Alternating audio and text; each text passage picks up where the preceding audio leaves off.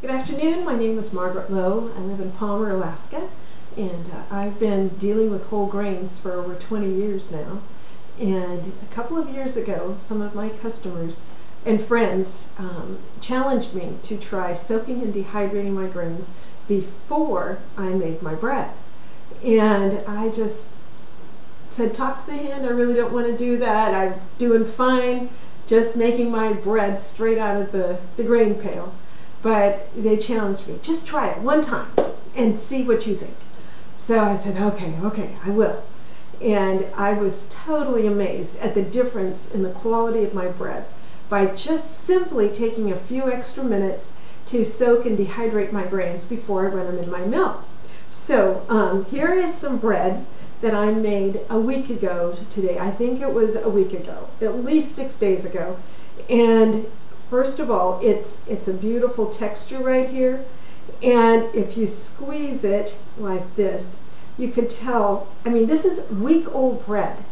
And week old whole grain bread doesn't act like this if, if it hasn't been soaked and dehydrated. It, first of all, it doesn't look this good it doesn't still smell this good, and it's not even um, deteriorating, going moldy, and it has not been frozen. It's been out on the counter the whole time, and not in my refrigerator or anything.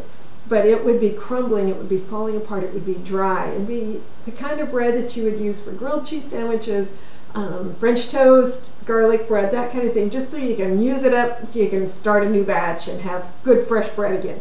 But like I said, because I soaked and dehydrated my grains first, it is still really nice, wonderful bread. And I would certainly eat a sandwich out of this without a problem.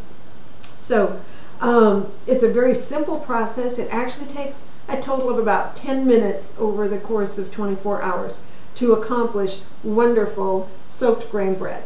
And um, these, these grains right here have been soaked and dehydrated, and you really can't tell the difference between these and these right here, who are, I just pulled them out of the pail just a few minutes ago. So let me show you how we get started with the process.